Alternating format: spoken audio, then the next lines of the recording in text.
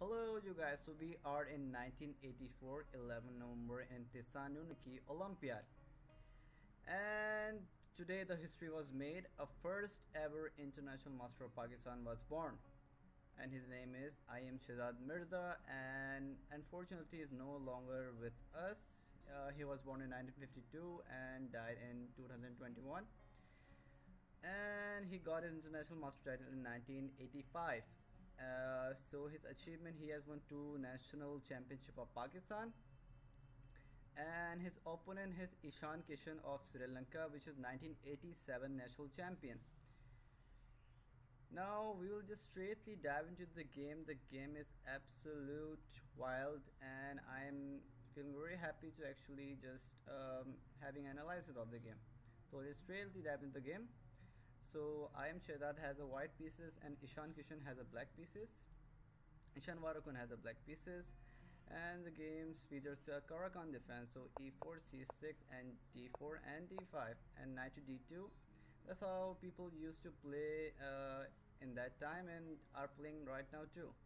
So we have pawn takes knight takes and bishop to uh, f5 that's how you, uh, people usually played and then we have knight to g3 and bishop to g6 and alpha 0 style h4 and we have h6 and knight to f3 and then we have knight to d7 and bishop to e3 and takes takes. Then we have knight to knight g to f6 and bishop to d2 and e6 and short uh, and long castles and showing that he wants a dynamic play and want and uh, and want to attack. So we have queen to c7 and knight to e4 and then we have long castles and then we have king to b1 the prophylactic king move. And then we have knight takes and queen takes and then we have knight to f6 and then we have queen to e2 let's see how the game goes. And then we have bishop to d6 and then we have c4 just going all in on Ishan Weerakon then we have uh, rook h to e8 and then we have c5 and then we have knight uh, bishop to fa and then we have g3 solidifying the structure and then we have knight to d5 and then queen to e1 just eyeing here. So you have to um, uh, mm, weaken your uh, queens a little bit uh, and he allows it actually after playing f6 he uh, um, I'm sure that plays bishop to a5 and then uh, b6 and pawn takes pawn takes and bishop back to d2 and then we have king to d7 just uh, shifting everything on the queen side to attack the white king.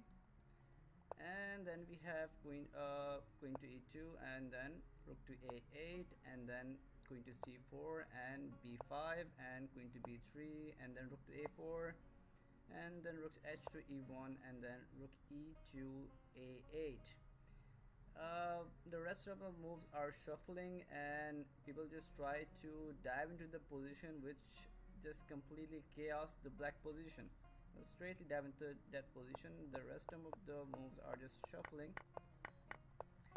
And after shuffle shuffle shuffle shuffle shuffle shuffle shuffle and then we have f5 and f5 was an absolute disaster for black because IM Shezad shows this class and plays knight captures pawn and you have to take the pawn because everything is hanging. And after pawn takes queen takes pawn with the check. And you have to defend the bishop. But how you're going to defend the bishop?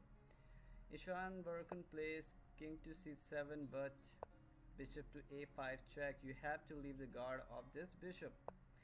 So king to b7 and rook takes bishop and then we have queen takes on d4 and then we have king to a1 and then we have king to g4 and after king to g4 IM Shezad said uh, I just um, get, uh, I played the knight sacrifice, knight sacrifice. Why not just play rook takes on d5 and then we have pawn takes and queen takes on d5 and then king to a6 and then we have queen to d6 check and uh, king takes on a5 and then queen takes on e7 and after playing uh, king to g2 Ishan Weerakon resigned because he's getting mated in 6 by queen to a7 check king to g4 and uh, rook to d1 and the rest of the four moves you have to find.